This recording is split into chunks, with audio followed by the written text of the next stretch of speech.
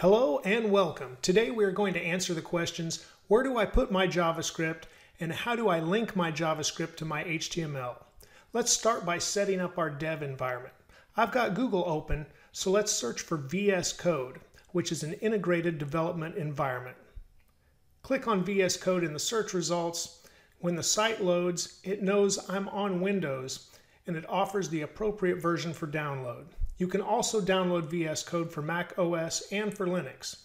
If you don't already have VS Code, go ahead and pause the video to download and install it. Okay, now you've got Visual Studio Code installed and open. You should get a welcome screen like you see on my screen.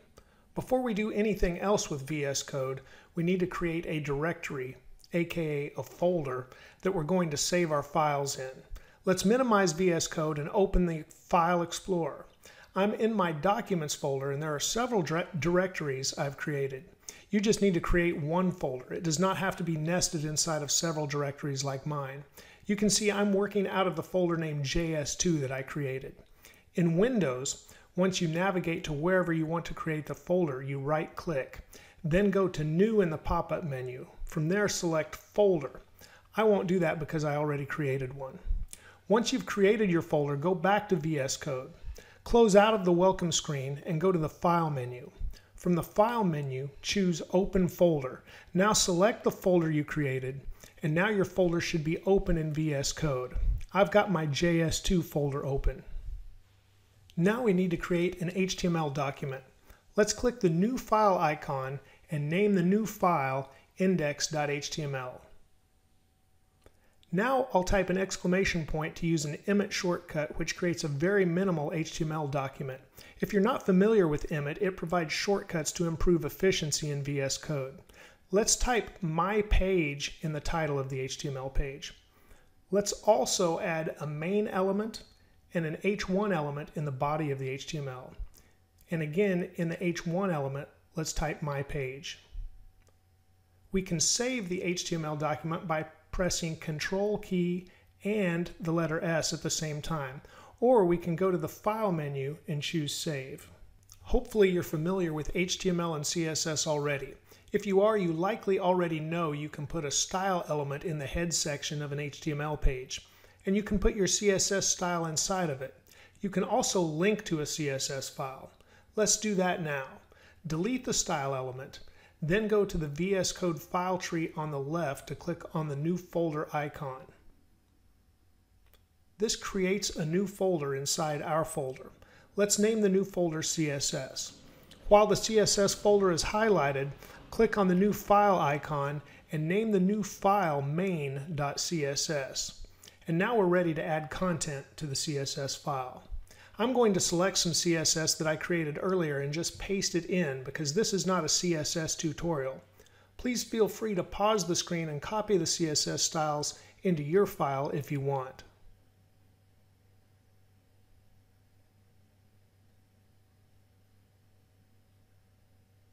Let's go back to our HTML file. Inside the head element, let's create a link element and link to the CSS folder we created. VS Code wants to help us out and offers the CSS folder that it sees. After we select the CSS folder, VS Code sees the main.css file as well. Now we have linked our CSS file to our HTML file. With JavaScript, we use a script element. A script element will have a source attribute, and this is where we link to a JavaScript file. Also note that unlike the link element, the script element has a closing script tag. We can remove the source attribute and put JavaScript inside of the script element. In the previous video, we typed directly into the Chrome DevTools console. Instead of doing that, let's log something to the console from inside the script tag in our page. Let's enter a console log statement with hello world and save the HTML file.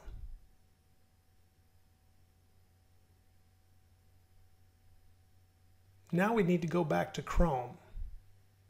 Let's first change the web address to about colon blank like we did in the previous video to get a blank page.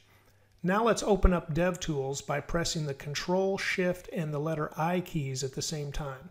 or you can right click and choose Inspect from the menu. Click on the Console tab then near the top right. Let's go back to VS Code and make our window smaller so we can see the Chrome Dev Tools on the right and we'll have VS Code on the left. We need to open our web page in Chrome in order to see JavaScript log our message inside the console. In Chrome, press the Control key and the letter O key at the same time. Browse to your index file and select Open. We see our page open on the left and we see Hello World in the console on the right. Now let's put JavaScript inside its own file and link to it from our HTML. Let's add another new folder named JS. With the JS folder highlighted, click the new file icon. Let's name the new file main.js. Let's go back to the HTML and copy our console log statement. Delete the script statement for now paste the console log statement inside your main.js file and save it. Now let's go back to our HTML.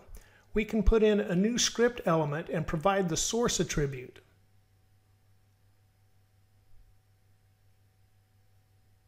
VS Code shows us the available folders and we will choose our JS folder. VS Code tells us that our main.js file is available inside the JS folder. Select our main.js file. Now we have linked our JavaScript file to our HTML file. When we go back to Chrome and reload the page, we continue to see our Hello World console log message. Let's add more JavaScript to our main.js file by reviewing some of the things we covered in the last tutorial video. Below our Hello World message, let's add another console log statement. This time use the type of keyword with your name inside of quotes.